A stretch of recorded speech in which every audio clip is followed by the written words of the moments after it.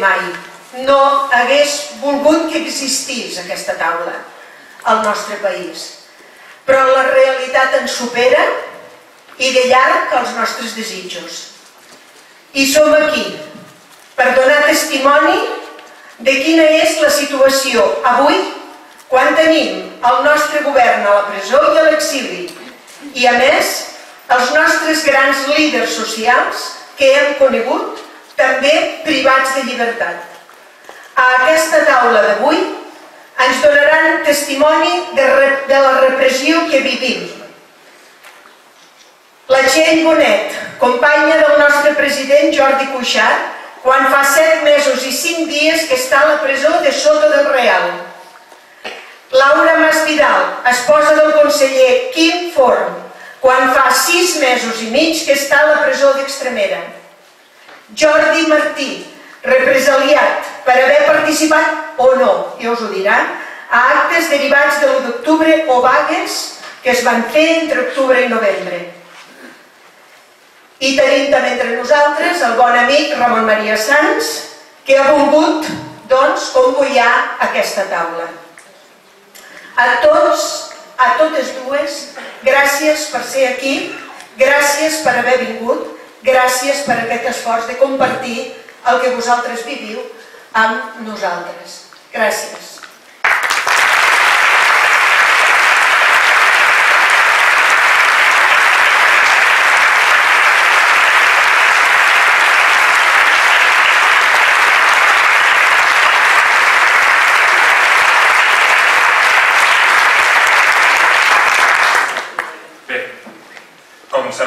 Avui el tema és la repressió i la repressió de l'Estat no para, no descansa, això sí que saben continuar de manera constant i permanent.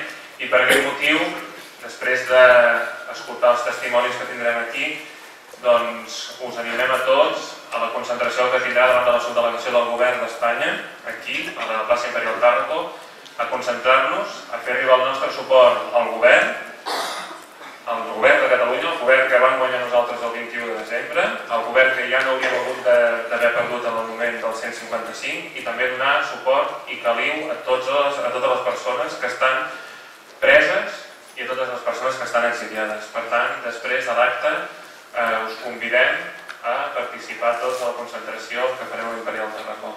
I no ho deguem més perquè podem començar a escoltar les nostres. Molt bé.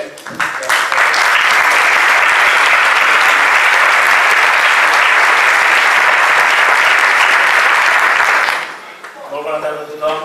Moltíssimes gràcies per haver vingut en aquest segon cicle de conferències que organitza l'Assemblea, Òmnium i també Juristes per la República. Si en la primera taula rodona parlàvem de la llei, en aquesta segona taula rodona parlarem de la repressió. La repressió pot derivar, pot ser de, de moltes maneres. La poden exercitar molts factors, moltes institucions, molts organismes. Eh, pot haver una repressió política, pot haver una repressió per part dels mitjans de comunicació, però hi ha una que és especialment dramàtica i una que a més a més és especialment punyent i que no té cabuda en cap, en cap cas en qualsevol estat que es vulgui anomenar estat de dret. I és la repressió judicial. La, la repressió judicial existeix a Espanya, és patent i és molt fort i és vergonyosa. Eh, els testimonis d'avui eh, poden donar testimoni fidel. Eh, primer de tot us presentaré en Jordi Martí, tots el coneixeu, de casa, Jordi Martí. Eh, malgrat que neix a Tarragona i es considera de, de Marçà, eh, és llicenciat de Filologia Catalana per la Universitat Rovira i Virgili, obtingué un màster en Crítica Literària, Llengua i Literatura Catalanes, es doctorà en Filologia Catalana l'any 2015 a la mateixa universitat i actualment doncs, viu a Tarragona. Eh, a nivell sociopolític se vincula a la lluita anarcosindicalista, antimilitarista i independentista del Camp de Tarragona.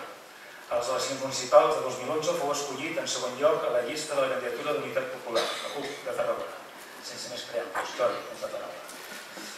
Bé, moltes gràcies per convidar-me a aquest acte i em toca explicar a mi és precisament una cosa que tenim aquí a tocar, perquè allò que vaig explicar és una cosa que totes i tots coneixeu. Potser no coneixem tal com ho explicaré ara, però com que em van dir que expliqués la repressió a Tarragona, doncs vaig explicar-la tal com jo la veig.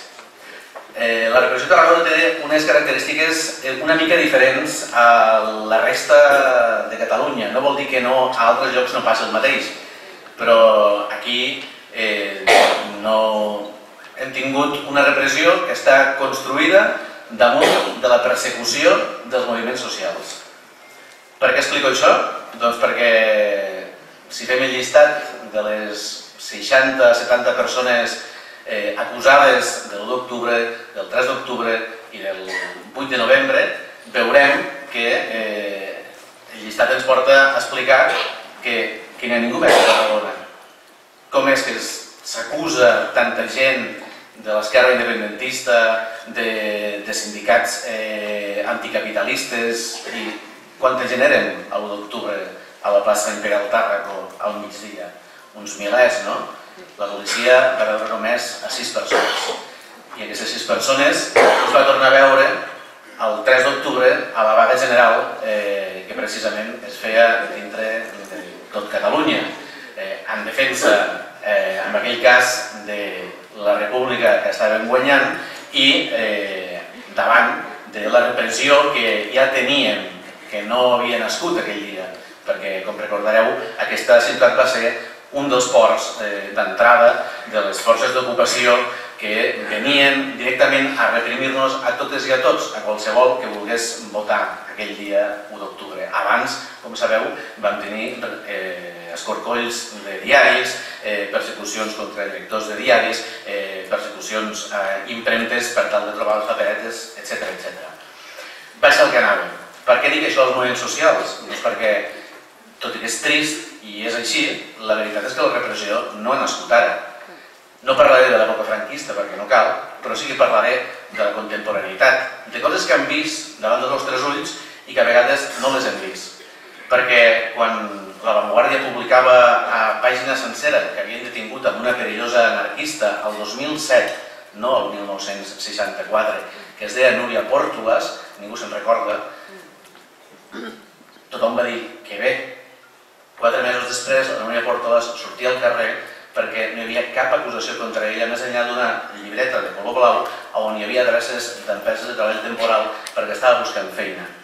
Va ser una presa política durant quatre mesos, va ser detinguda i empresonada. Quan va sortir la Vanguardia va publicar quatre llibres petitones i entremig, entre l'empresonament i la sortida, ni una sola referència. Passava el mateix al 2006 amb una gent que van anomenar Comando Dixant, perquè al mig del no a la guerra multitudinari que vivíem, al voltant de 23 persones van ser detingudes acusades de jihadisme. I com que eren acusades de jihadisme, tothom va dir sí, sí, sí, són eh, terroristes i no sé què. Finalment, les bombes que tenen a casa eren això, Dixant.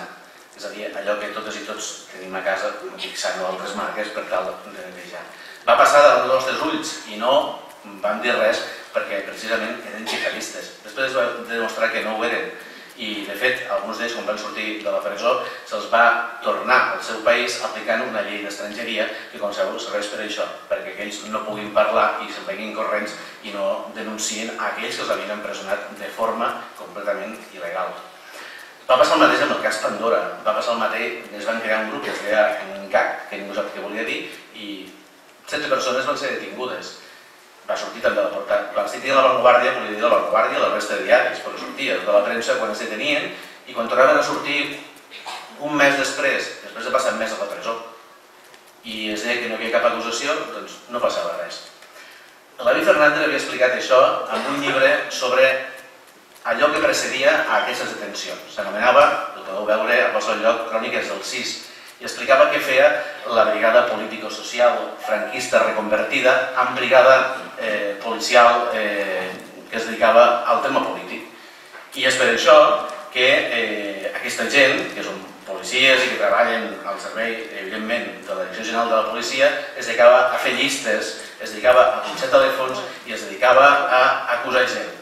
com que en aquest país, com sabeu, no hi ha hagut terrorisme, doncs cada cop que tenien amb algú passava que l'havien de deixar després. No passava res. Els mitjans callaven i no passava res. Dic tot això perquè aquí a Tarragona, quan mirem el llistat de la gent eh, acusada el 1 d'octubre, veurem un llistat de gent d'això, de moviments socials, gent que pertany a l'Ateneu Libertari, gent que pertany a la Confederació General del Treball, a Coves, a, a la COS, és a dir, organitzacions molt petites en relació a tota la ciutat, però que sempre estan a tot arreu. I dius, ostres, com és que entre eh, milers, milers i milers de persones s'acusa aquestes persones d'una forma completament inconcreta? Perquè us fem una idea, a l'1 d'octubre, l'acusació aquí a Tarragona diu, a l'estat policial, que va haver eh, 12 policies ferits. Aquests policies ferits van ser ferits, un es va torçar el canyell, l'altre es va torçar el canyell, l'altre es va torçar el canyell, eh, suposo que sabeu per què, però són ferits amb partes mèdics i al seu costat eh, apareix un que es va fer un tall o una rascada aquí dalt, un altre que va perdre la sabata, un altre que va perdre les ulleres de sol Ray-Ban, ho dic perquè tot això apareix a l'estat policial.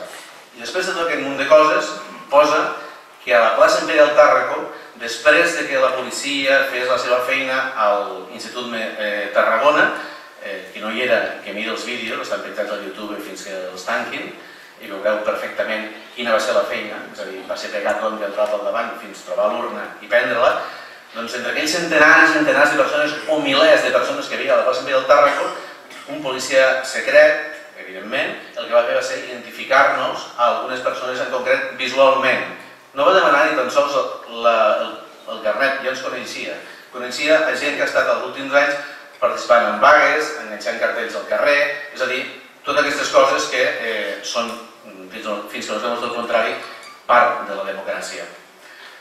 Eh, no passaria res si no fos que el 3 d'octubre, a la vaga general, torna a passar el mateix i busques el llistat de les persones que hi havia i veus que hi ha eh, 5 persones acusades i 3 més. Les 3 més, sabeu qui són? Són les persones que van legalitzar la vaga aquí a Tarragona. Van ser acusats per la policia, estan acusats dintre del, de l'informe policial com a culpables de què? Perquè tampoc no especifica res. Però són les persones que van legalitzar la vaga, perquè la vaga era legal. I per això es va fer, entre altres coses. Si mireu de Tarragona, veureu que hi havia 20.000 persones a la manifestació, però aquesta persona o persones que treballaven per la policia secreta d'aquesta ciutat que aprofito, tal com feien Ixó Rai, que era un grup de música d'Aragó, per saludar el policia secreta que hi ha vingut avui aquí, perquè és l'única persona, a banda de la gent de la URB que està treballant, aquesta persona en concret, o aquestes persones que estaven a la plaça Imperial Tàrraco, van tornar a identificar aquesta gent.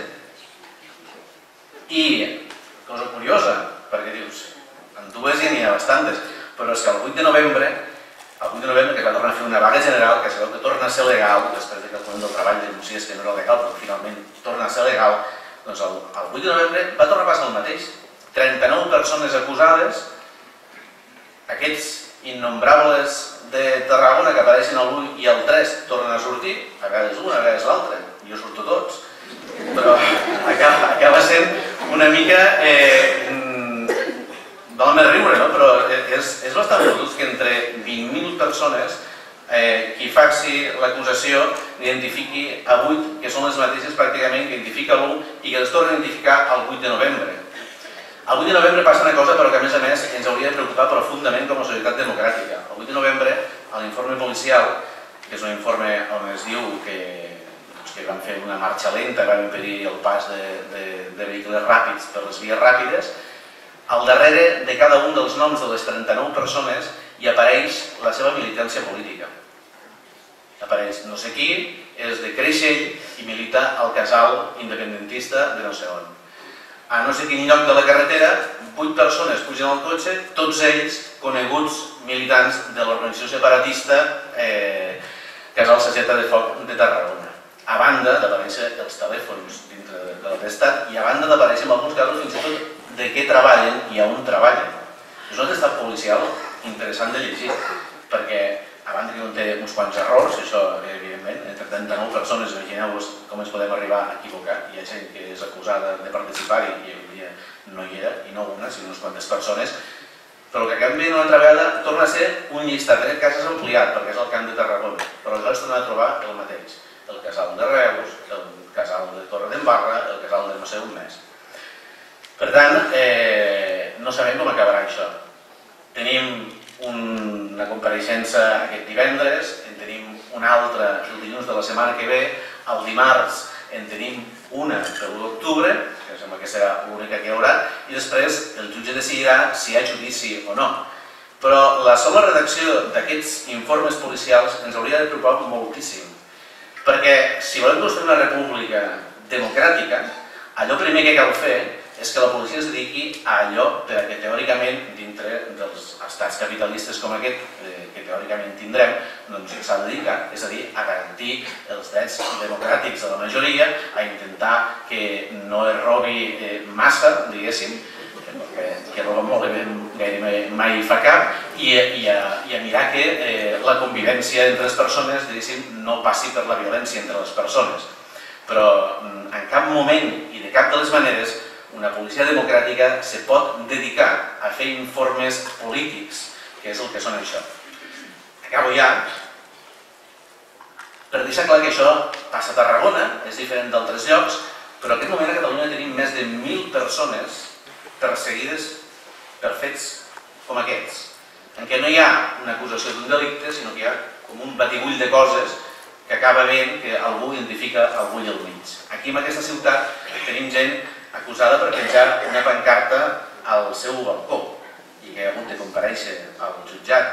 Gent que acusada d'haver clonat eh, la pàgina del referèndum. Tenim gent acusada de moltes formes diverses. Aquestes són les conegudes, però també tenim gent que ha anat al jutjat sola o acompanyada a vegades per inspectors d'educació perquè han estat acusats de crims d'odi, això ha passat aquí i altres localitats del voltant, i per tal que no surti públicament el cas, se'ls demana que no ho facin públic. Jo penso que la repressió l'hem de combatre a partir d'això que estem fent avui. A partir de participar totes i tots en actes col·lectius i amb una defensa col·lectiva de les persones reprimides i, sobretot, a partir, a partir d'explicar-ho en veu alta. Perquè quan tenim l'explicació en veu alta de barbaritats d'aquest tipus, acabem entenent que allò que estem fent, que és l'intent d'acabar construint una república i algunes coses més, té ple significat i ple sentit. No pot ser que a cap lloc del món la repressió o l'Estat s'organitzi en funció de les idees de la població per tal de perseguir-la o per tal de no perseguir-la.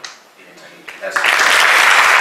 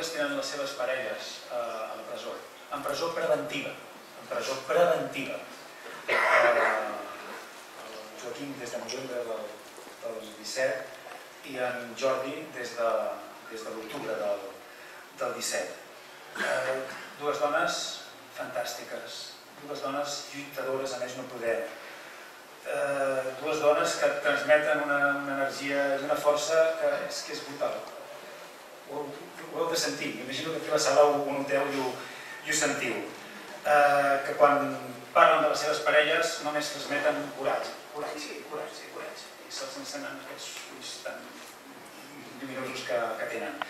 Eh, el primer és obligat de preguntar com estan les vostres parelles. Sí. Jo sempre contesto d'una manera molt escèptica, que és la majoria d'hores tancats en una habitació que fa 8 metres quadrats i que cada, i, i porta 7 mesos i 5 dies, com deia la Rosa Maria Codines.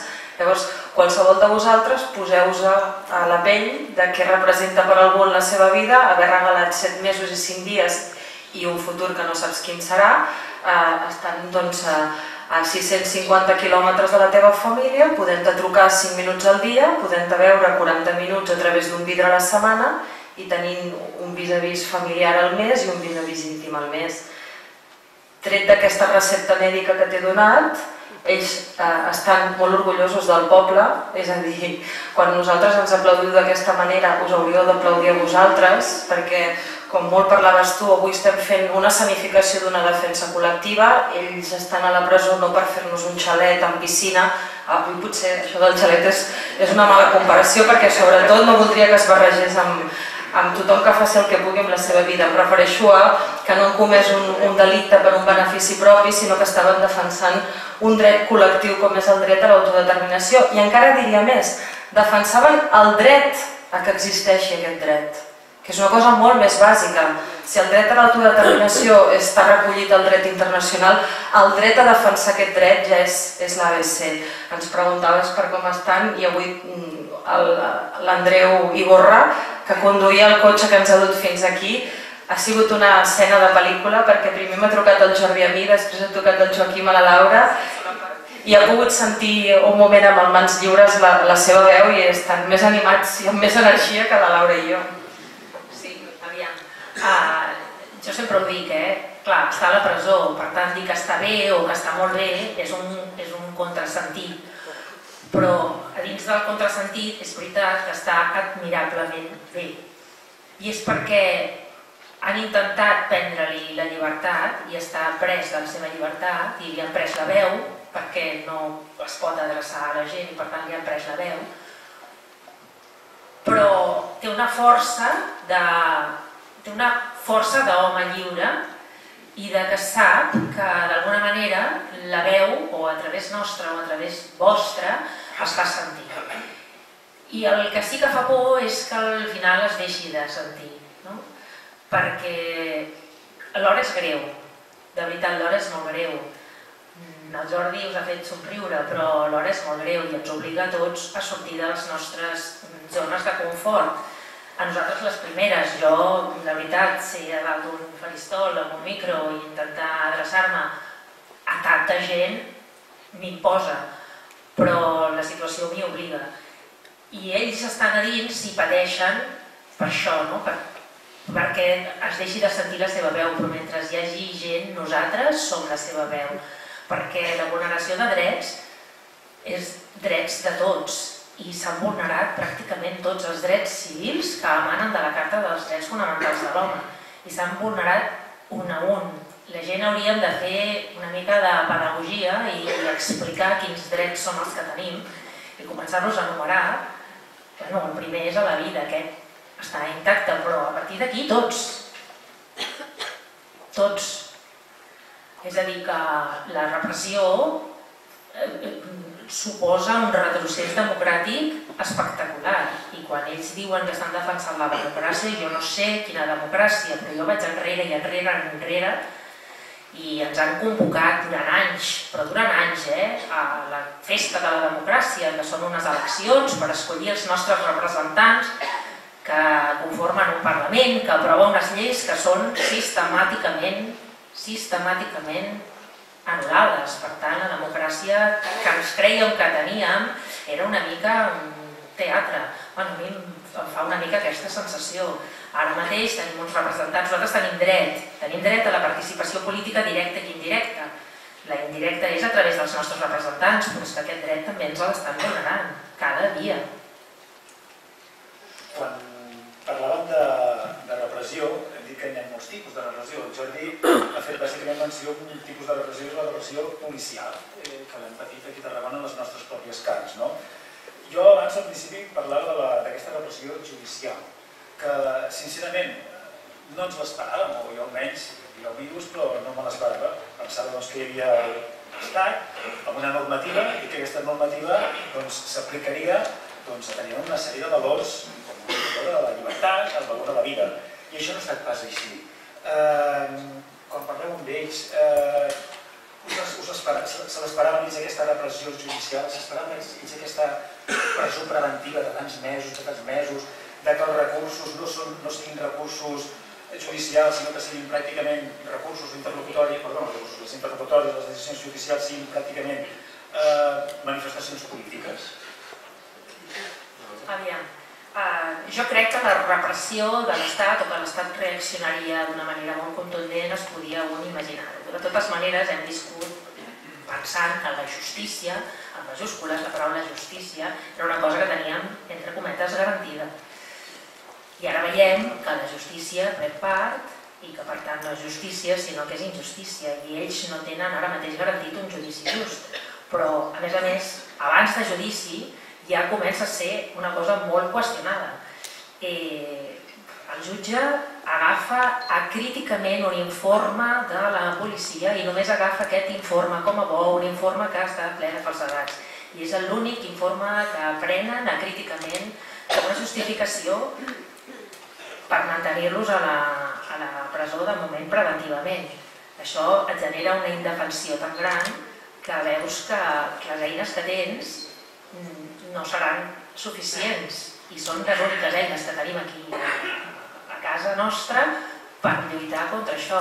Per tant, és molt, és, el moment és molt perillós, és molt perillós. Si és que quan tu preguntaves com està el Jordi i ara la Laura parla d'aquest informe, ell, que s'ha llegit no sé quantes vegades aquest informe, perquè si una cosa tenen és temps per llegir totes les cartes que seguiu enviant, eh? si falten segells els donarem a Òmnium Tarragona, que tenim tots els que els hi requisen, doncs es llegeix l'informe i em diu, no, és que jo estic tranquil·líssim, és que si el veiéssiu a vegades eh, ell sí que és massa optimista, perquè diu, clar, l'informe està ple de dades en contra meu, que tot són notícies de, de diaris, no, però no són fets de veritat. És a dir, quan arribi el judici i hagin de provar aquests fets, no hi ha proves, perquè són titulars de l'ABC, del Mundo, de la Razón, Llavors, eh, clar, eh, és el que diu ella, no? que d'una banda, si tu creus en l'estat de dret, penses que tard o d'hora acabarà caient tot pel seu propi pes, perquè fets de violència no n'hi ha hagut, sinó que són titulars, però de l'altra, si tu mires des de l'altra banda, penses en quina desprotecció estem,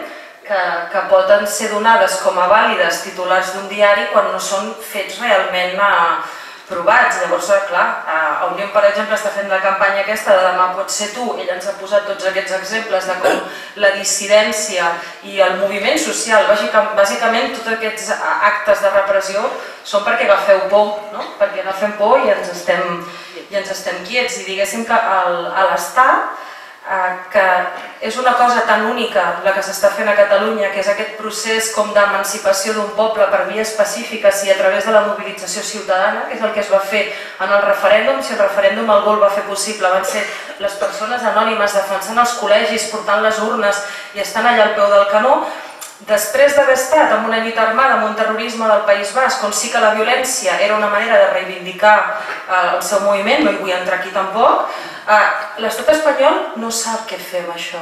És una cosa tan bèstia, tan, tan civilitzada, tan nova, aquestes, aquestes manifestacions tan endreçades, no? que sempre diem que no hi ha ni un paper a terra després de recórrer els carrers de, de Brussel·les i de qualsevol capital on es facin les manifestacions. Llavors això ha entrat en una espècie d'improvisació, quan tu deies si pensaven que la presó seria tan llarga, eh, els agafen els dos Jordis primer, va l'audiència, eh, les mesures són draconianes, una presó sense fiança, i, totes les coses s'han anat, com vam viure, viure uns, un, quan deies tu, no? que explicaves que entraven a les impremtes, eh, des del mes de setembre, des de l'11 de setembre fins, fins ara, però sobretot aquells mesos inicials, va ser trepidant. Si algú ha de fer la història del nostre país en aquelles setmanes és que eren d'infart, no?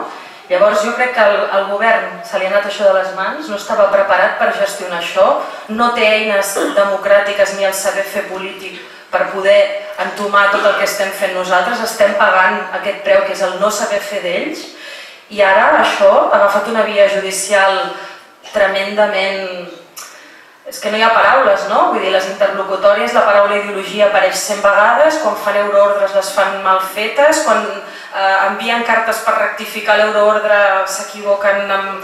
És a dir, qualsevol guionista de cinema que, que hagués fet aquest guió li haguessin llançat amb una paperera i es veu que és el que està passant, no? Llavors, tot plegat, o t'ho prens així una mica com kafkià o realment, com diu la Laura, la, la sensació d'indefensió. I nosaltres dues Clar, som unes afortunades, perquè el que està passant amb les nou persones que ara estan a la presó tenen tot el recolzament d'una gran quantitat de gent al darrere, però eh, els casos més petits, eh, la Tamara mateix del CDR, clar, són persones que, que d'un dia per l'altre et pots veure completament amb un embolic judicial brutal, fer, fer front també a, a una defensa que també té un cost, Està és molt bèstia. acusada de terrorisme i no tenia diners per pagar la defensa. Un advocat d'ofici acusada de terrorisme per 30 anys. Ha hagut de fer una crida. Està confinada, confinada allà a Viladecans, no pot sortir del seu municipi. I per què li van trobar què? Perquè el dret de protesta pacífica el tenim. Podem sortir a protestar, només faltaria. Només faltaria. Però és clar, ara amb un micro no podem dir que tenim dret a tallar una carretera perquè poden dir ah mira, la dona del forn està alentant els CDRs a tallar una carretera i per això ens mantindrem amb ell i potser la tancarem amb ella. Passa, passa que la gent ens estem autocensurant i això és el pitjor que pot passar en una societat, que els mestres vagin amb por a classe, perquè diuen o com actuen, o ahir que em deia una mestra, em deia, un nano li faltava un boli, vaig treure el primer boli que em va sortir de la bossa i era un boli amb la, amb la i em va, li vaig donar i al, al moment que li vaig donar vaig començar a tenir una suor freda i no sabia què fer, si prendre-li, si amagar-lo vaig decidir no fer res, el nen va escriure i m'ho vaig guardar, que passi això que passi això és molt greu. I estem en aquest punt, eh? som aquí Mireu, no hi ha res que sigui comparable les coses realment no, no es poden comparar, però jo vaig tenir l'oportunitat de treballar a Birmània just abans de caure, diguéssim, la Junta, bueno, caure, totes les coses realment no cauen, es maquillen, no? Però era quan la Premi Nobel Aung San Suu Kyi, que també podríem qüestionar per tota la crisi del Rohingya, havia de sortir del seu arrest domiciliari, no? I llavors eh, jo estava en contacte amb els periodistes locals birmans per si hi havia alguna situació en la que jo no podia parlar birmà i necessitava la seva ajuda, i jo vaig viure la, la sensació de tota una població, de fet Birmània vivia sota el règim d'aquesta por, no? de fins i tot eh, que això potser gent que sou molt grans ho heu viscut en altres moments de la història de l'estat espanyol, de que no saps mai qui pot espiar els teus moviments i pot donar doncs, el teu nom i pots acabar doncs, amb problemes. I clar, jo veia els periodistes parlant en veu baixa, hi ha una cosa que que nosaltres els periodistes li diem el síndrome del fixer, que és que la persona que tu penses que t'ajudarà perquè et traduirà eh, de l'anglès al birmà, acaba estant tan acollonit perquè tu vens de fora i vols posar-te qualsevol forat i vols investigar qualsevol cosa, llavors tradueixen en por, parlen en veu baixa, hi ha preguntes que no s'atreveixen a fer, i jo, per situacions que he viscut, i ara amb un pres polític, que és la meva parella, havent entrevistat presos polítics birmans, penso, quina, no, no és comparable, eh? però penso, hi ha situacions de, de, de control de la població que és que em recorden a tot això. Vull dir, ara mateixa, quan ell ha dit lo de la suor freda, freda per un bolígraf, era la mateixa suor freda que jo veia en aquells periodistes perquè jo traia una càmera en un moment o un micròfon en un moment que potser els de la taula del costat eren policia secreta, no? I, Bé, a mi em sap greu, però els, jo no sé la Laura, els primers dies que va passar tot això, jo el meu telèfon mòbil ja no he tornat mai a tenir la mateixa tranquil·litat quan el faig servir. Sí, aquesta és una pregunta que us volia fer també. Us sentiu al llarg de, del vostre dia a dia espiades, coaccionades, vigilades, amenaçades? Home, no, són paraules molt greus aquestes, eh?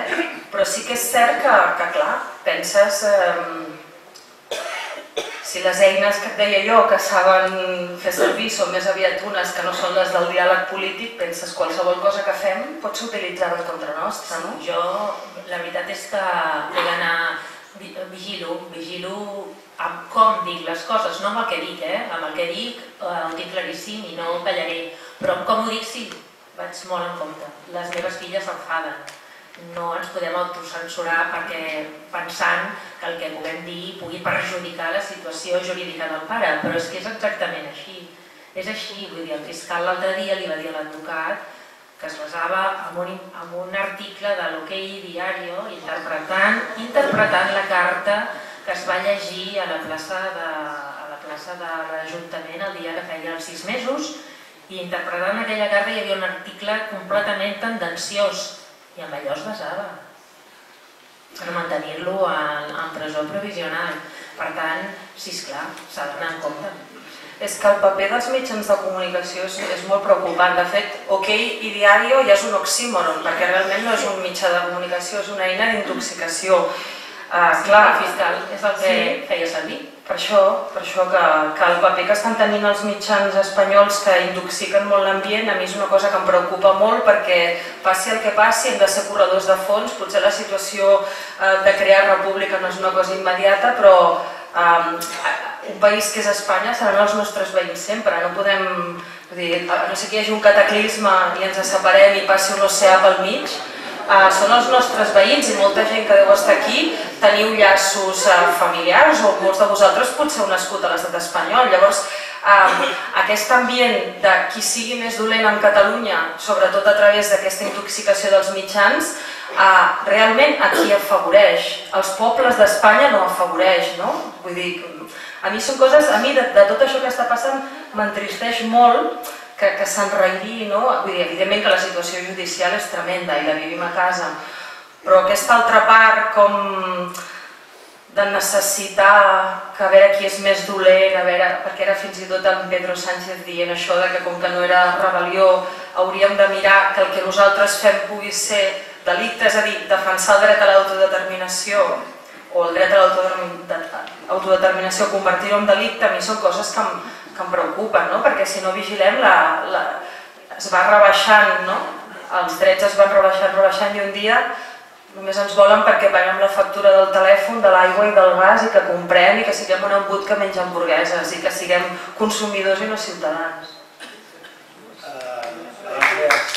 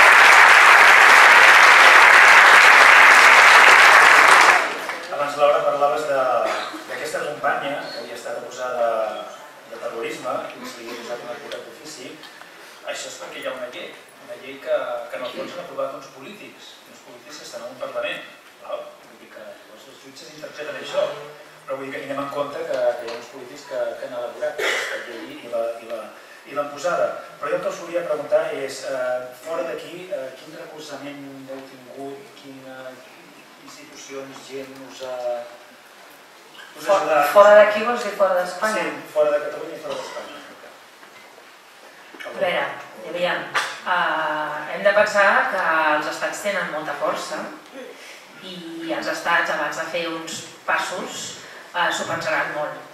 És veritat que amb el soroll que s'està fent, gràcies a que tenim gent a l'exili i per desgràcia també gràcies a que tenim presos polítics, aquest soroll es pot anar fent sí que jo noto que l'opinió pública doncs, europea comença a obrir els ulls, comença a qüestionar eh, els, els altaveus més oficials hi ha un cert interès, però també hem de pensar que nosaltres som molt petits i que hi ha una cosa que les meves filles m'han retret i és cert, nosaltres mateixos hem tancat els ulls a moltes coses que passaven al nostre costat, a Europa mateix, per al nostre confort, perquè mentre tu vius bé, pots veure que el que passa al del costat no t'afecta.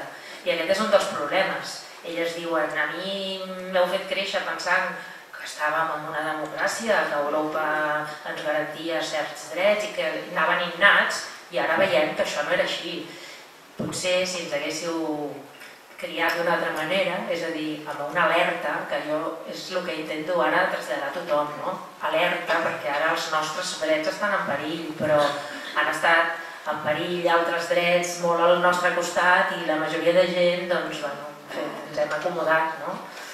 És, eh, jo sí que veig que ara ja aquest interès, entre altres coses perquè el nostre moviment és un moviment que pot ser eh, un moviment eh, model per la gent d'Europa, per l'Europa dels pobles, no pas per l'Europa dels estats. I en aquest sentit sí que noto que si ens movem, eh, reclamem aquesta, aquesta posada de l'ull, sí que tindrem resposta però passa per molta feina de pluja fina. I això mm, que està bé i que s'ha de fer i que jo continuaré fent no vol dir que la nostra situació reverteixi en, breu. És que el que deia la Laura, la lluita no s'acaba mai, ara estem lluitant per la anormalitat que vivim, en concret amb aquestes nou persones a la presó, les persones que estan a l'exili, les persones que estan represaliades per recuperar les nostres institucions, però vaja, almenys a Catalunya podem dir que les manifestacions, per exemple, a, a favor de que vinguin refugiats van ser les més grans d'Europa de, i si, la, la lluita no s'acaba mai per fer una societat més justa. Parlàvem de la intoxicació informativa i tu ens preguntaves qui, qui, qui ens ha ajudat. Amb la Laura vam poder estar un parell de dies a Ginebra al Paler des Nacions quan hi havia les sessions ordinàries de l'ONU i vam poder fer un parell de lectures, ella en dimarts i en dimecres, parlant de la vulneració dels drets fonamentals. Uh, jo l'altre dia també vaig poder anar a Berlín, que justament ens van convidar perquè parléssim una mica del paper... A Alemanya és una cosa que per ells és molt fonamental, quin és el paper de les dones en, en tot això, per poder posar aquestes figures de, de relleu, que jo vaig dir que nosaltres, a, diferent, a diferència d'altres persones, també ha sigut d'una manera com accidental i que després hem intentat fer el màxim col·lectiu possible però tret d'intel·lectuals de, de fora, a França va haver-hi un article manifesto que es va publicar a Le Monde, que va escriure Saviano, Penach i dos escriptors més francesos i italians. A Espanya hi ha un escriptor a Madrid d'origen andalús que es diu Isaac Rosa, amb el que jo m'he trobat personalment, que també al diario.es ha escrit eh, articles preguntant als espanyols per què no es pregunten i per què tenen oblidades aquestes persones a la presó i per què no es pregunten aquesta distància i si tenen fills menors, però sobretot qui ens pica la porta cada dia, i si no puc dir la Laura, són els mitjans internacionals. Avui ens està acompanyant la televisió pública de Finlàndia, que és el segon 60 minuts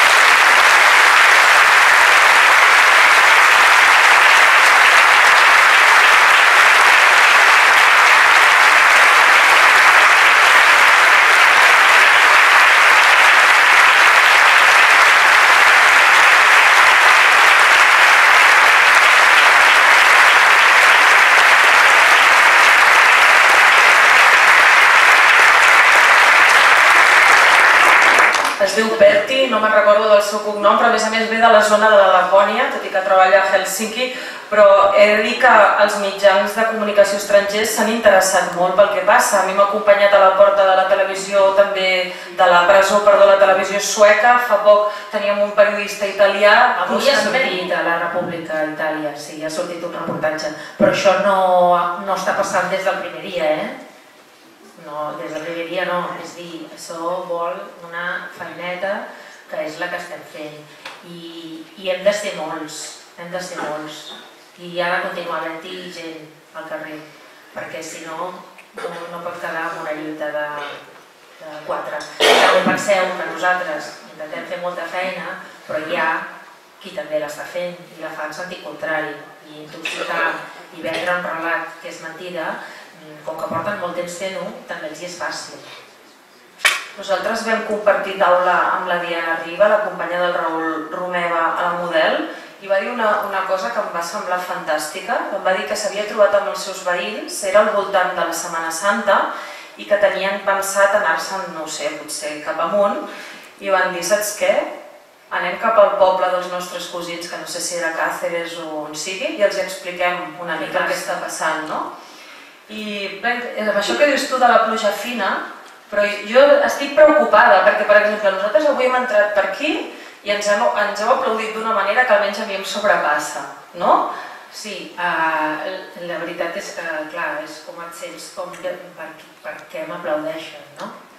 Uh, però sí que us hem de dir que tot, tot això que fem és molt important, ens dona força i us en dona, i, i fa que reflexionem i potser arribem a casa i donem voltes, sí que jo d'alguna manera intento dir-vos hem de sortir, encara que costi, de la nostra zona de confort i intentar...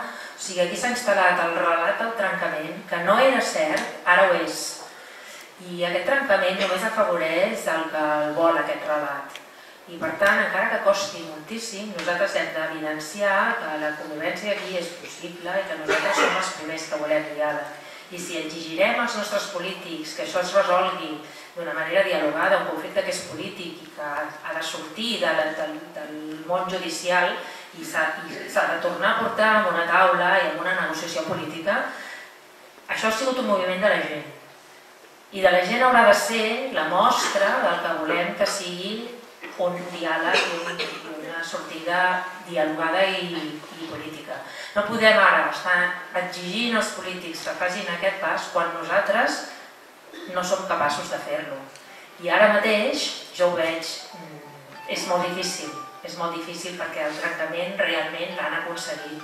O sigui que ja sé que costa, eh, però us animo a que siguem nosaltres els que ho fem perquè ells que diuen que s'ha trencat, a ells els hi agrada que estigui trencat, perquè és el seu relat, és, és el seu relat, només els afavoreix amb ells.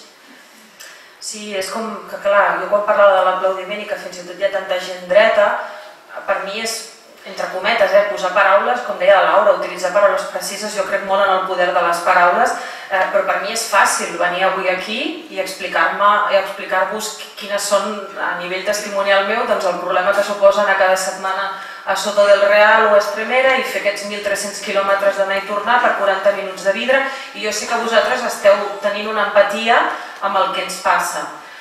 Però és que jo quasi que necessito fer-ho i parlar amb gent que potser encara no tingui aquesta empatia. No és el que diu la Laura, és complicat, però hem de fer alguna cosa per, per explicar-nos a les persones que justament no entenen el que, el que estem vivint aquí a Catalunya. És molt complicat, però vull dir, no podem nosaltres sempre mateixos, els convençuts, parlar amb els convençuts, és complex el que passa, jo no sé com es desllorigarà, però hem d'intentar.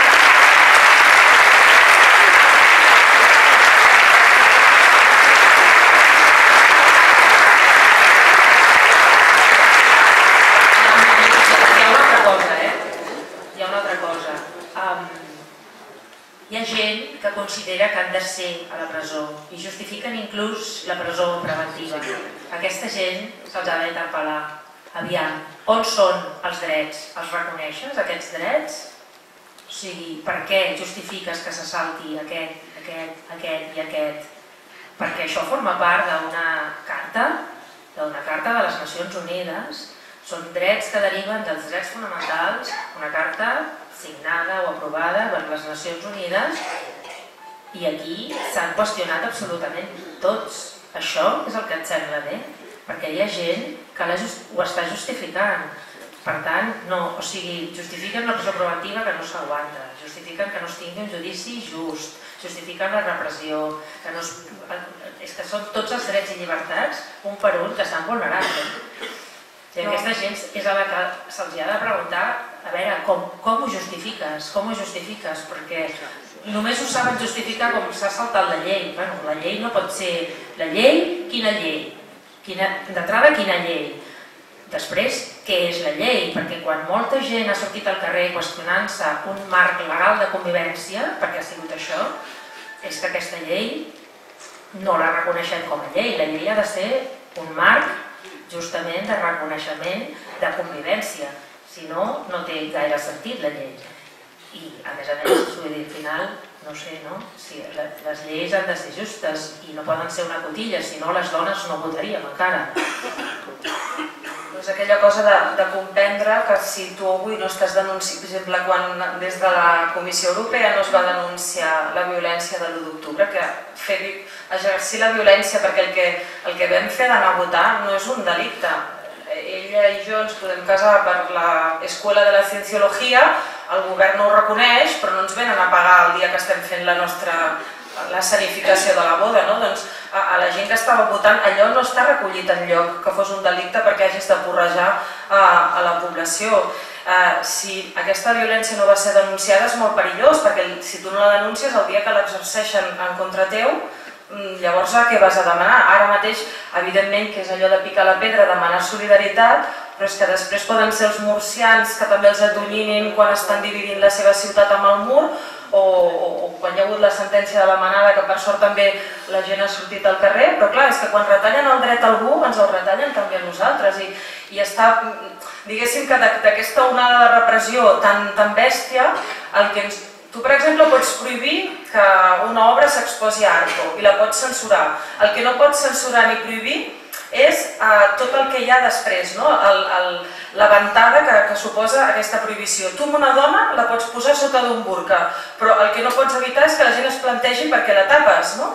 Llavors, eh, tot el que ens està passant ara, la, la part bona és aquesta, que la població eh, cada cop és més madura políticament, i quan dic políticament no vull dir eh, si votes en un partit o en un altre, sinó eh, el fet de que som conscients que els nostres gestos creen un sistema o creen, o creen un altre, però eh, torno a repetir, no? La, el tema de la solidaritat. Anaven pels comunistes com que jo no ho era, no va passar res, anaven pels jueus com que jo no ho era, anaven pels sindicalistes com que jo no ho era, i quan van anar per mi no quedava ningú.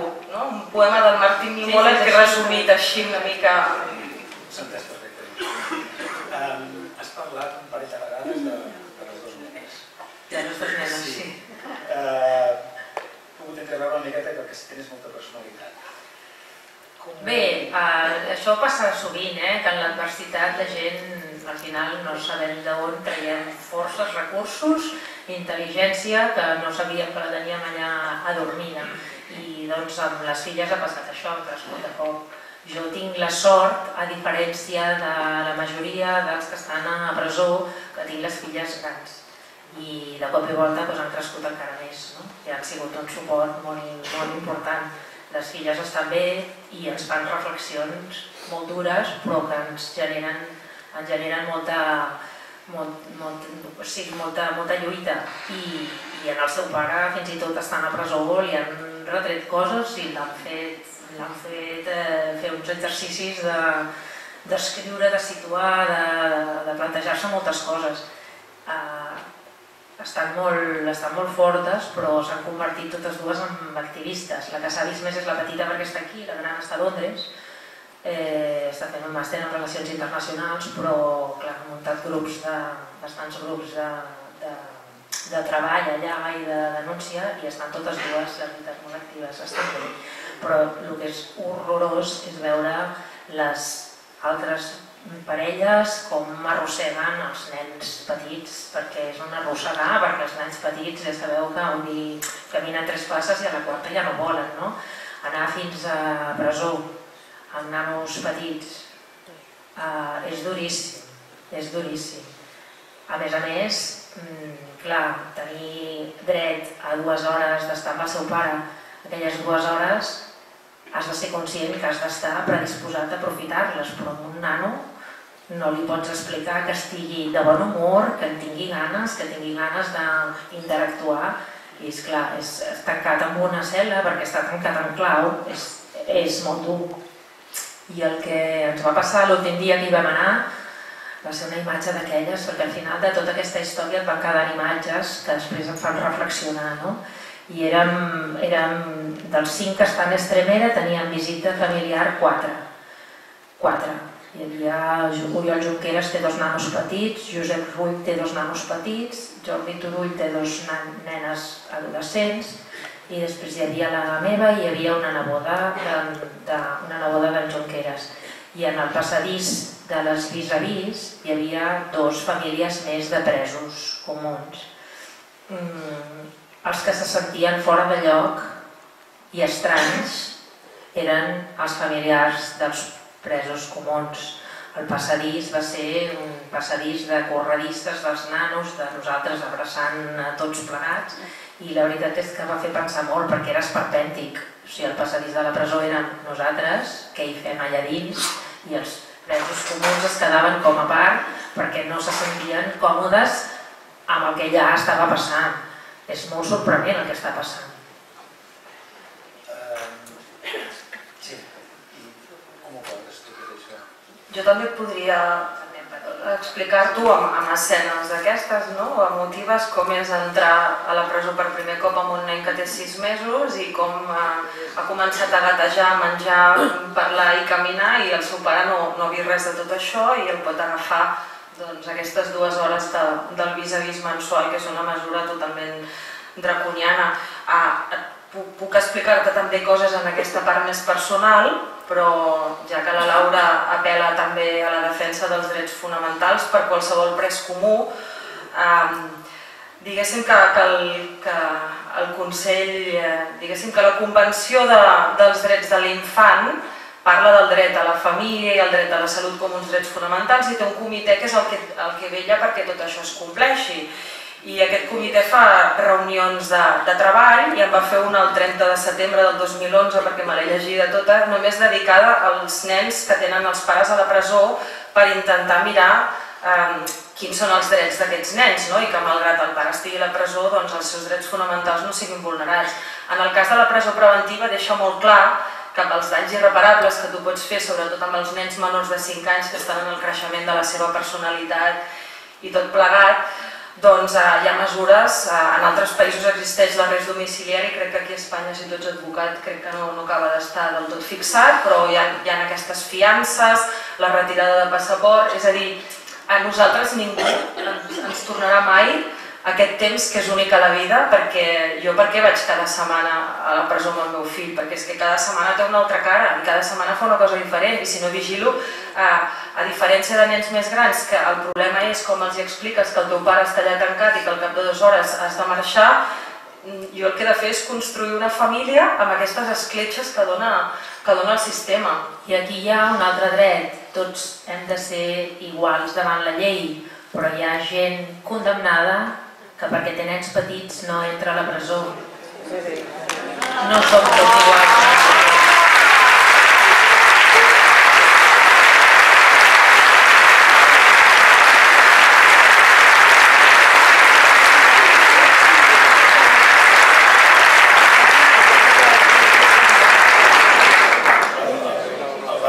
De les interpretacions que de la llei fan determinats estaments judicials és per posar-se les mans al cap. Sí.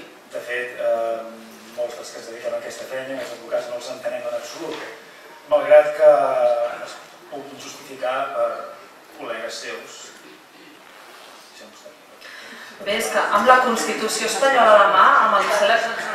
Em sembla que és l'article, ja ho diré jo, ja ho diré jo i fas així. Em sembla que és l'article 39 de la Constitució espanyola que diu que els presos tenen dret a estar al més màxim a prop de les seves famílies i els fills, eh, diguéssim que vulnera el dret a la salut física i emocional a aquesta distància. És a dir, la presó preventiva ja és un, ja és un pecat i la distància llavors ja és una, una immoralitat que eh, nosaltres esperem que això es pugui lluitar, però és que no ho desitjo només pel, pel meu fill i pels fills de la resta de presos, és que qualsevol pres comú de l'estat espanyol, nosaltres perquè ens ajudeu solidàriament, però qui pot fer, a part del desgast físic i emocional i l'estrès, un viatge cada setmana a Madrid o on estigui aquesta presó a l'altra punta d'Espanya econòmicament, clar que al final no, no, no et pots ni permetre econòmicament anar a veure el familiar quan el dret penitenciari regula unes visites familiars i unes comunicacions. Per això a vegades hi ha gent, i em sap greu dir-ho, que s'acaba suïcidant a la presó, perquè és que els acaben aïllant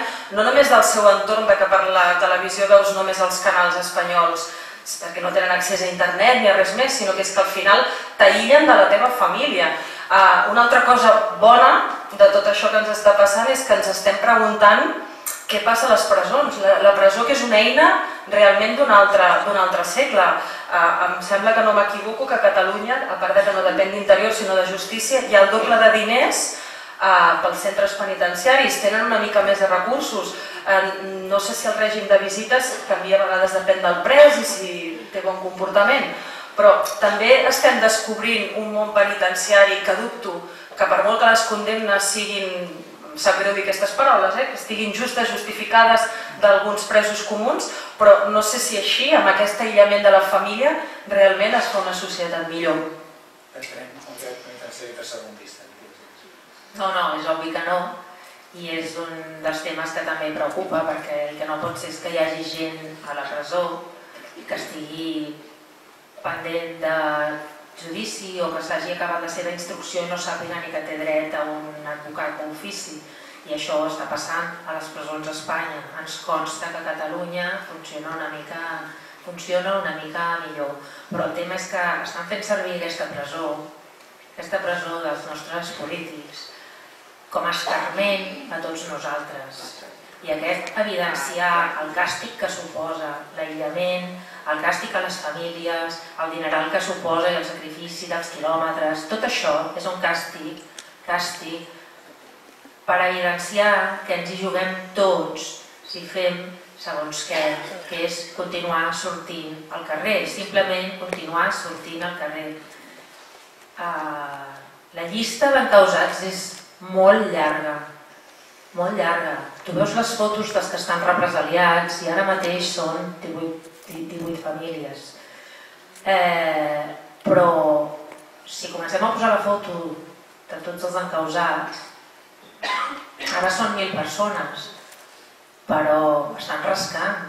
Cada dia hi ha 4, 3 més. Eh, I el que està passant és que això, la presó preventiva, està fent servir com a càstig d'escarment. I això és, que, és que és horrorós, o sigui, no ens ho podem permetre, però és una mica inevitable que al final la gent s'acaba acaba qüestionant ah, sortim o no sortim? Sortim o no sortim? Jo veig que la gent, segons qui, ja va en compte. Els funcionaris estan una mica esperant a l'expectativa a veure què faran, què no faran, però no estan tranquils. Els mestres no estan tranquils, de, de debò, o sigui, ens en sortirem i ens en sortirem seguríssim, perquè a més a més som molts i no ens poden callar tots, però, però estiguem, estiguem alerta, eh? perquè és poca broma. Jo, és que clar, jo no sé si el Jordi, que el tenim aquí, pot estar una mica d'acord amb un pensament meu que, que arrossego des de l'adolescència, no? però nosaltres votar, votem cada quatre anys, si és que votem, perquè hi ha gent que potser ni, ni li interessa o no creu en aquest sistema, però on posem els nostres diners estem donant el nostre poder. No? Si tenim una companyia telefònica o tenim una cooperativa, si, si estem en un banc o en un altre, eh, si la nostra empresa de llum també és una cooperativa o una altra, si comprem la roba que no sabem qui la fa, també estem construint un model de societat i això és un canvi molt lent, però també el, el fet de pensar que la nostra petjada, que cada gest que fem, no? si ara aquest got ja no el tornem a fer servir, el llancem, o aquesta talló de plàstic, o, o això era una gerra de vidre com fa 30 anys i la gent bevia aigua igual, doncs estem fent una, un model de societat o un altre. És a dir, la concentració de poder que hi ha a Espanya, quan es parla tant d'aquest IBEX 35, a qui no li interessa que les coses no es moguin, a qui no va denunciar aquesta violència,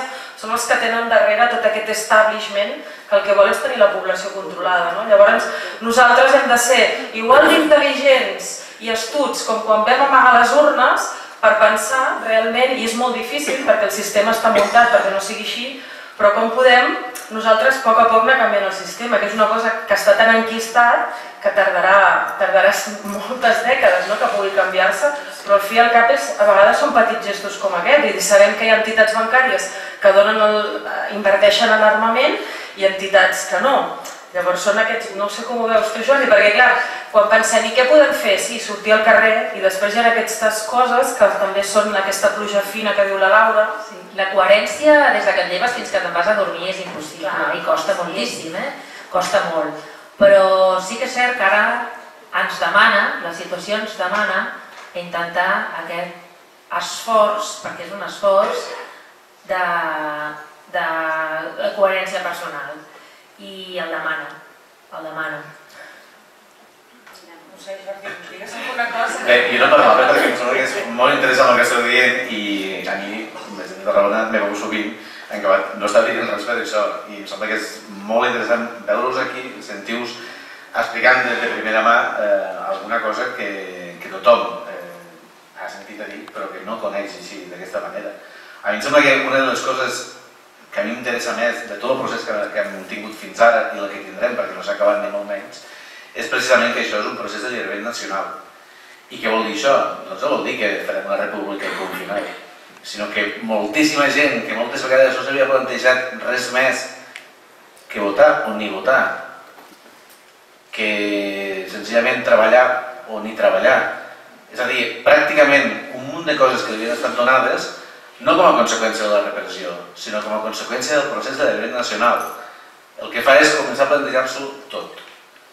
I plantejar-s'ho tot no vol dir estar en un dubte permanent, sinó tenir el cap obert a, precisament, doncs, si parlem de presons, saber que aquestes presons existeixen per a tothom igual i són absolutament nocives. I insisteixo, si volem construir una república, igual que deia abans amb el model policial, si és que ha d'haver presons, han de ser radicalment diferents a aquestes que tenim a l'estat espanyol i que també tenim a Catalunya. Per què? Doncs perquè som capaces precisament de mirar les coses i qüestionar-les. Això és el procés d'allavament nacional i allò que fa que, que, que realment no l'estat espanyol, sinó bona part d'Europa eh, s'interrogui sobre si, si això que està passant aquí o això que ha passat fins ara és realment una cosa que els interessi o no. A la majoria no els interessa, perquè qui veiem normalment a Europa és precisament gent que no vol canviar res absolutament, perquè allò que hi ha ja li està bé i en una societat que, que s'ha volgut individualista, de cop i volta vosaltres feu coses col·lectives. No? Llavors estem anant tots tan a contracorrent perquè a més a més volem canviar un país que diguéssim que ja està dins del satèl·lit del capitalisme, perquè si ara mateix fóssim uh, Macedònia, Croàcia o un nou país, Europa estaria encantat d'intentar fer-ho tot possible perquè d'aquí un temps entréssim a la Unió i fóssim mercat de persones que pujarà el seu poder adquisitiu i es convertiran en nous eh, ciutadans de la Unió Europea, però perquè interessa que aquell país sigui mà d'obra barata, comencin a comprar coses i vull dir, quan diuen no, és que clar, és un problema el nou estat d'Europa. No va ser un problema, Estònia, Letònia, Lituània, eh, Eslovènia, Eslovàquia, Txèquia, això no va ser un problema Llavors, eh, nosaltres els catalans estem fent una cosa totalment a contracorrent, però volia posar l'accent en això positiu, que és aquest sentiment col·lectiu que quan us manifesteu a favor de la llibertat, doncs ho feu junts. Sí, s'ha posat al servei de la col·lectivitat un projecte il·lusionant, un projecte comú de fer-ho entre tots i, i el que estem veient és encara més bonic, no? Que amb la repressió la gent comença a posar inclús les seves capacitats al servei, al servei d'això, no? de construir una, una marc de convivència il·lusionant i que sigui de confort per tots. Jo no entenc com això ho poden mm, dibuixar i, escri i escriure completament al revés, perquè és, és molt difícil, perquè jo només veig això, i anem a molts llocs i veig això algú hauria d'intentar posar l'ull i veure què passa aquí, però no interessa. No interessa, no interessa que la gent puguem canviar certes estructures. Però la gent tenim aquesta capacitat i ara mateix ens sembla que no, perquè les eines cada vegada són menys, però continuem tenint la gent. Jo crec que això, és, és, això té molta força és la força que ens dona a nosaltres per seguir aguantant, la força que els donen d'ells perquè estan bé, tot i que estan privats de llibertat, i no hi hem de renunciar, no hi hem de renunciar. Obrirem un torn de, de preguntes. Una qüestió, si hem de tirar el micròfon per la sala, farem un tècnic, massa allà. I la gent també demanem una mica de brevetat, sisplau. Sí. Bona tarda, moltes gràcies. Sou dues campiones, gràcies per ser aquí i gràcies per tot. Però jo us volia preguntar, del vostre web aquell de familiars, eh, nosaltres vam fer una acció amb, amb les cartes als líders europeus i no sé, volia saber si ha tingut ressò, si al web s'hi poden seguir fent aportacions, això, ens poseu al corrent o si us ho han atacat i ja no funciona. Funciona.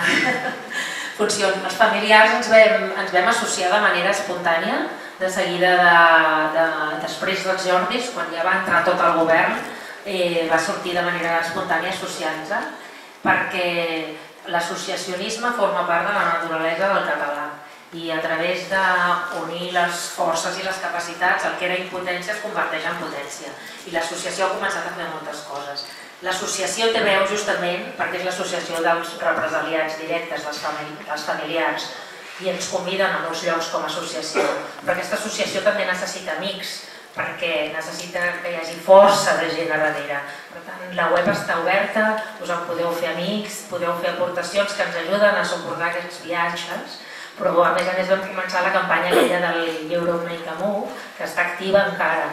El que passa que la vam començar i és molt difícil, jo també els he preguntat amb ells o alguns periodistes, és molt difícil saber el ressò que ha tingut o no, però ara deixarem passar uns dies i el que farem serà qüestionar directament els mandataris, els cinc mandataris als que els vam enviar, preguntant, interpel·lant a veure si l'han rebut públicament. Eh, això ho anirem fent. Però l'associació el que vol, ja que ens conviden a llocs i justament donem veu als que no la tenen, eh, la donem nosaltres, però és important que la doneu vosaltres. Per tant, necessitem que aquesta associació, perquè les associacions en aquest país han fet moltes coses, moltes coses. És important no només que siguem els familiars, sinó que hi tinguem amics. I per tant la figura d'amic eh, està a la web, us, us, us podeu fer i la veritat és que seria important que això, que suméssim amics. Moltes gràcies per la pregunta. A dretscivils.cat Sí, i de fet ara doncs, quan anem als llocs ens presentarem com a activistes de l'associació i més que l'associació direm activistes de, de drets civils. Sí. A dretscivils.cat. Eh, bueno, bona tarda a tothom. Et vull fer una pregunta a tu, Jordi. És si hi ha un espai comú aquí a Tarragona per fer front a la, a la repressió que existeix, com se diu aquest espai, en què consisteix i com la ciutadania de Tarragona podem solidaritzar-nos amb, amb la resta de companys de la ciutat. Bé, gràcies per la pregunta, hauria de dir. Evidentment que existeix, se diu Tarragona no té por i de fet eh, moltíssima gent del que esteu aquí segurament eh, participeu d'alguna entitat que s'ha adherit precisament a Tarragona no té por perquè hi ha manifest que està penjat a internet, podeu buscar-lo amb tota la frase seguida i veureu com hi ha una quantitat gran d'individus i també de, d'organitzacions de la ciutat de qualsevol tipus, és a dir, no només polítiques, sinó culturals, eh, literàries, de gent que ha decidit precisament, no sabem si tenir o no tenir por, però com a mínim intentar que la por no se'ns mengi i no acabi convertint-se en allò que vol precisament l'Estat, que és un immobilitzador i que no hem de permetre que això passi. També hi ha una cosa que jo, ja que vaig als llocs, m'agrada dir, eh? el, la, la gent que teniu ganes d'escriure i que us agrada escriure cartes, eh, els diaris reben cartes de lectors, alguns les publiquen i alguns no. Hi ha molts diaris a Espanya que estaria bé que enviéssim cartes als lectors, però també hi ha molts diaris internacionals i tenim un servei de traductors, és a dir, que és important, si algú hi té costum i li agrada, doncs avassallem els diaris amb cartes nostres dels ciutadans.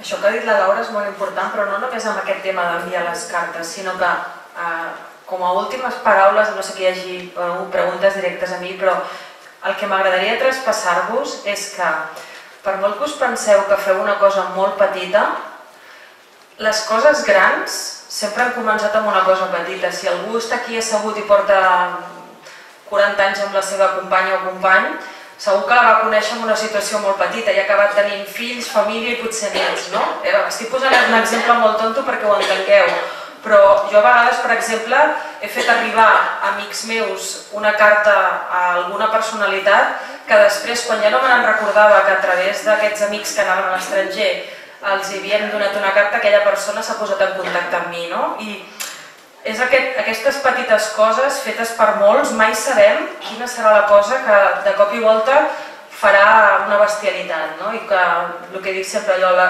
volar d'ales d'una papallona al final porta un tsunami, però és que és cert, si un dia tots anem al carrer vestits de groc hi haurà una marea de color groc, no? doncs el que diu la Laura de les cartes, si realment en un diari li arriba una carta potser li sembla estrany o aquell dia li sembla graciós, però si de cop i volta comencen a rebre moltes cartes explicant-li el mateix, si és un bon periodista dirà, home, aquí, ni que sigui investiguem-ho, alguna cosa passa, no?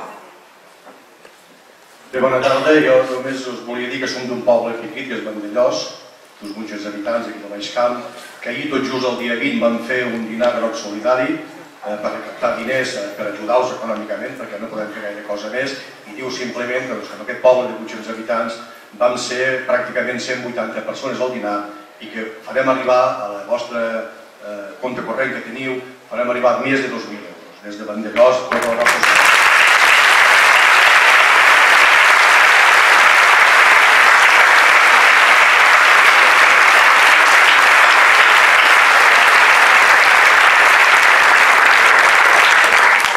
Jo volia només eh, expressar un sentiment, orgull de presos polítics, orgull de familiars de presos polítics, orgull de país.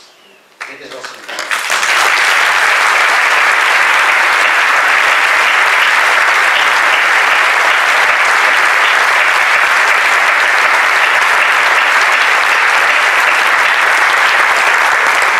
Volia fer una petita, una petita aportació, si em deixeu, una petita reflexió que em vaig quedar amb ganes de fer a la, a la darrera trobada que vam fer. La reflexió és la següent. Quan hi va haver una petita intervenció que algú es va expressar en castellà, el, campa, el company Eusebi Camp de Pedrós va contestar-li, eh, respondre en castellà, hi va haver alguna petita resistència per part d'una part del grup. Jo el que dic és que si volem guanyar aquesta batalla no la podem fer contra, contra els catalans que se senten només espanyols i fins i tot anticatalans. Aquesta batalla no la guanyarem contra ells. I llavors, el de la pluja fina, hem de fer un esforç tots plegats per baixar una mica el nostre ego intel·lectual.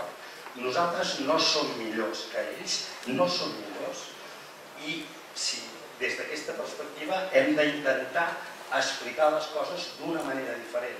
No som millors que ells. Tenim una idea diferent i l'hem d'explicar potser diferent. És l'única eh, aportació que us volia fer.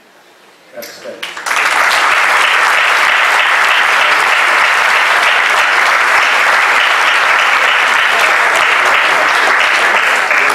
Mireu, amb això de triar l'idioma és que moltes vegades no ens, no ens n'adonem. Uh, és cert que per nosaltres mantenir la nostra llengua viva, una llengua minoritzada, és molt important i volem que hi hagi un ús social i que sigui reconeguda, però l'altre dia vam estar a Alemanya, a Berlín, fent aquesta conferència i la traducció simultània era castellà-alemany, també perquè algunes persones, si potser entenien el castellà, poguessin seguir la conferència. I quan es va acabar, ens van donar les gràcies d'haver-ho fet en castellà i ens van dir que trobaven a faltar que a vegades nosaltres ens expliquéssim més en castellà per poder ells seguir algunes notícies o fins i tot perquè nosaltres, si no ens expressem en castellà, tota aquesta gent del poble veí que jo dic que, que hem de fer-nos entendre com ens entendran, si pretenem que realment s'adaptin totalment i fins i tot que no ens entenguin o que hagin d'aprendre català per llegir els nostres articles o les nostres expressions, vull dir que, que el nostre idioma és per tothom, està benvingut, no és per la nostra tribu catalana, qualsevol persona de fora el pot aprendre, però que realment eh, hem d'entendre que expressar-nos en altres idiomes, i un d'ells és el castellà, és també molt important per explicar-nos. Saltem tot ja que donem. Hola, bona tarda. Bueno, vull explicar una cosa que jo estic fent, perquè jo de part de pare segoviana, i a poc a poc estic obrint cada vegada més els ulls als meus amics de tota la vida, als familiars, i de cop i volta el... ahir em diuen és que fem fer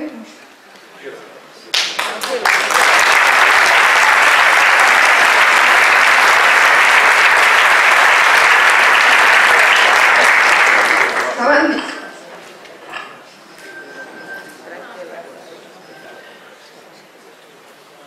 Saben dir, i mira que hi ha alguns que són bastant de dretes, però va, vaig, vaig, vaig arribar a entendre que no els odiem, que no, no sentim ni adversió ni res, i van arribar a entendre que només el que volem és que hi ha un país on hi hagi justícia social i que en aquest país, si no canvien la seva mentalitat i segueixen votant a corruptes i a mentirós, mai sortirem d'aquí.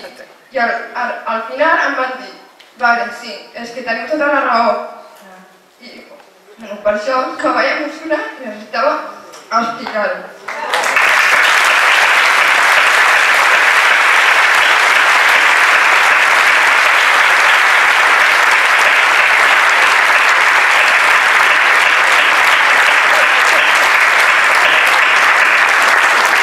això és només a favor, no va en contra de res ni de ningú, és només a favor, és constructiu. I això és el que s'ha de fer arribar. Doncs, eh... Però veieu el que deia de, de la cosa petita. Aquestes són les coses petites que ens salvaran. Exactament.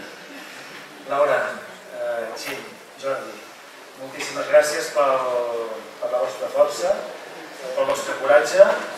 Eh, us hem escoltat, eh, tot el que ens heu transmès a través dels vostres ulls, dels vostres gestos, de les vostres paraules. Me sembla que tenim molt clar el que hem de fer cadascú de nosaltres, ho tenim claríssim. Nosaltres hi serem ara i aquí, demà i demà passat i fins que acabi. Gràcies per haver vingut.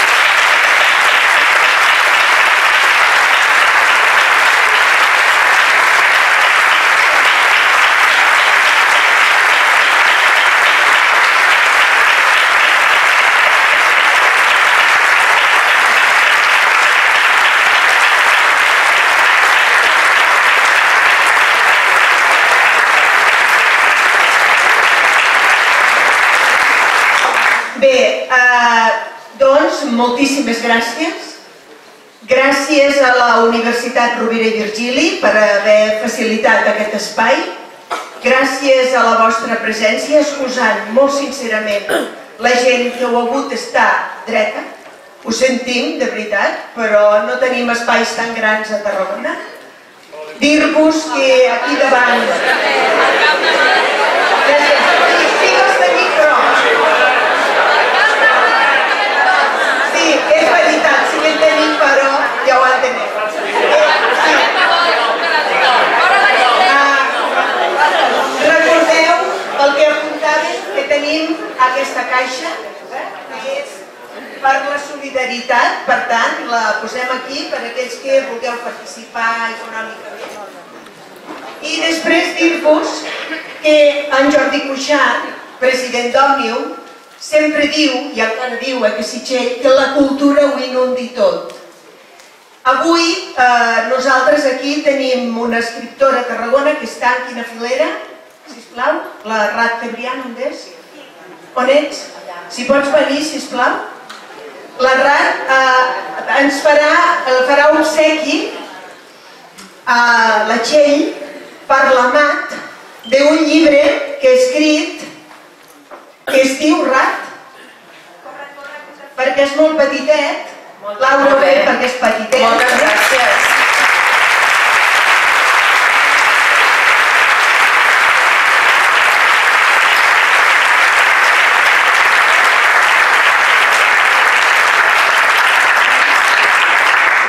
És una història d'una nena valenta que es topa amb la cucafera, que és molt menys ferotge del que tothom es pensa i que acaba sent un personatge tendre. És un personatge del nostre bestiari popular i volem que l'amar. Molt bé, moltes gràcies, molt amables.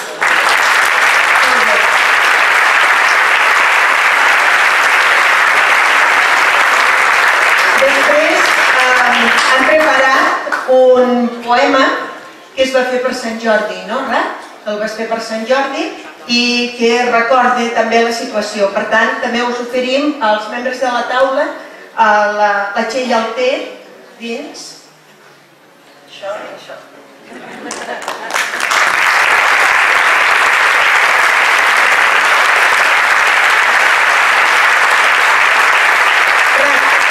Un moment, em llegirà la. El llegirem només perquè l'hauríem pogut escriure qualsevol dels homes que són a la presó. El vaig escriure la nit abans de Sant Jordi i ens podem posar tots a la seva pell. Estimada, molt estimada, el drac em té avui presoner. A mi i els companys, altres cavallers, que vàrem alçar-nos en pau pels carrers. Ni gota de sang no deixa anar la fera, mentre exhibeix el seu cor glaçat. No ha desistit la primavera de reduir tanta maldat, però no censura encara, potser perquè és aviat. Entre barrots avui em trobo i entre barrots avui et vull. No esperis només una rosa, sinó un cistell curull. Vaig encarregar fa dies als marges de vinya i els camps que fossin avui tan plens de roselles que no et quedessin a les mans. Per a tu i totes les princeses que ploren lluny els seus amants. Corre, passeja i gaudeix-les, que aviat ho farem tots dos, quan haurem vençut la fera i foragitat les pors.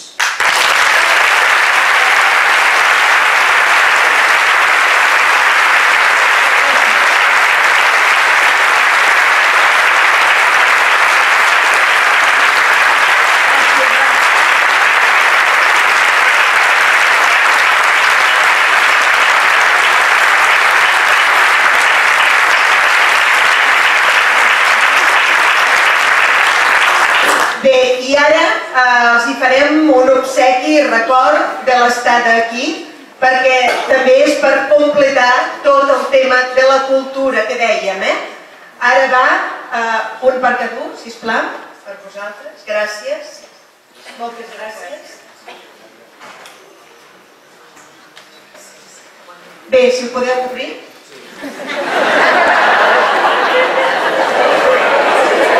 Perquè així ho veureu.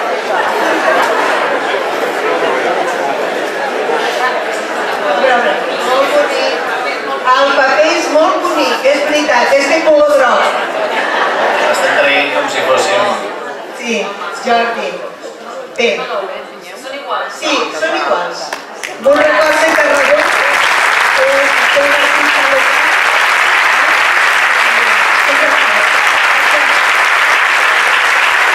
Molt bé. Moltes gràcies. Uh, la veritat és que quan ens conviden a la universitat ens fa molta il·lusió perquè uh, trobem sempre molta gent a tot arreu, però la franja d'estudiants universitaris és la que ens costa més. I, i els necessitem. Uh, I avui em dóna la sensació que passa mica el mateix. Uh, tots els que hi tingueu accés o possibilitats, uh, demaneu-los que s'hi han d'implicar, és importantíssim i els necessitem.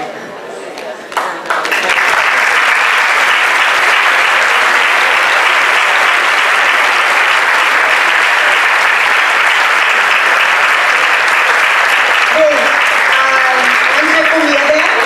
Us esperem a la plaça Imperial pugui, perquè la i divendres Recordeu, al Col·legi d'Advocats fem la conferència de comunicació a les 7. A les 7, eh? A les 7 al Col·legi d'Advocats. Moltes gràcies.